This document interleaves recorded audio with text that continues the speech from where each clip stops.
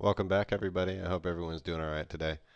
I've got a tutorial here. I'm going to show you how to remove some flyaway hairs with the quick select tool and the refine edge utility uh, in Photoshop CS5 exclusively.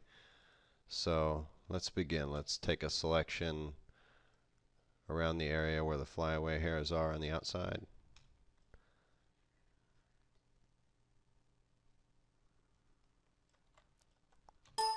Alright, that'll do. Now we'll use the select menu, refine edge, and we'll use the the brush that it shows us here to paint around the areas that we're concerned with. You'll see it sort of snaps to those areas. We use a couple of these different parameters to refine this a bit. The smart radius will sort of pick up on the color differences and have the tool snap to a little bit. I like to use uh, both the feather and contrast just to get a little bit of a cleaner selection. And then finally we'll use decontaminate colors. Bring that out a little bit to kind of remove some of what the light put there. We'll say OK. And it'll create us a whole new layer with just our selection just as soon as my computer decides to do that for us. Okay, let's reveal the background layer and now we've got a nice selection. If we hit control and we left click the layer mask then we can see our selection and what I like to do is I like to invert the selection by pressing control shift I and that'll protect any of the hair on the inside from being cloned out. So we'll use the clone stamp tool and we will select a source around well it would help if I created a new layer. So I like to create a new layer, ensure that all layers for the stamp tool is selected so that we can sample all the layers. And we'll start to clone away the, uh, the flyaway hairs here. And as you can see, I'm getting my brush all over that area and it doesn't affect it because it's protected by the by the inverted selection. Now y'all know this won't be perfect, but I just want to give you the right idea. And thankfully we have a, uh, a blurry background, so it won't matter if we kind of mess that up a little bit. Uh, clone out. Oh, well, not that.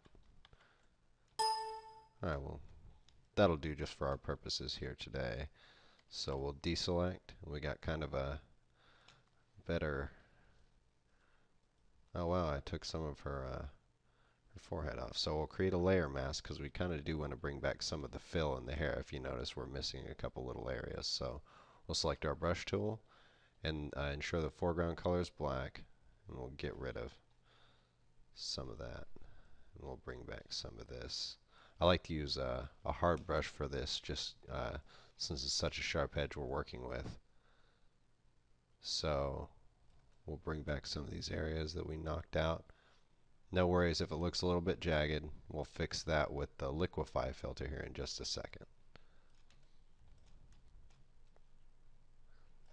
Alright, let's go ahead and create a whole new merged layer, um, which we'll do by hitting Control Alt Shift E as an echo, and it'll create a merged layer on top that's got all of our layers combined inside of it. So on that one, we'll use the filter, liquify, and we'll be using, well, we should zoom in just a bit now. And then we'll use the forward warp tool up here in the corner. We'll just sort of use the edge of the brush. That's how I like to do it. I mean, everyone is different. And we'll move in the areas that are sort of jagged. So we can get a kind of a round, a nice clean edge where we did our edits. And I'm not super sure what that is, but let's try and push it all in there.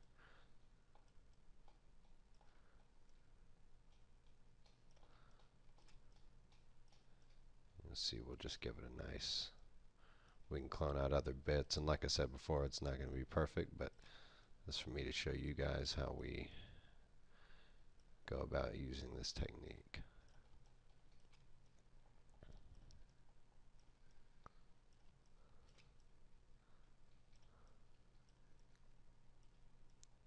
Let's see, we got a little bit of a discrepancy here, but I'm not going to worry about it for the for the purposes of this tutorial. That looks relatively decent, at least for the educational purposes here.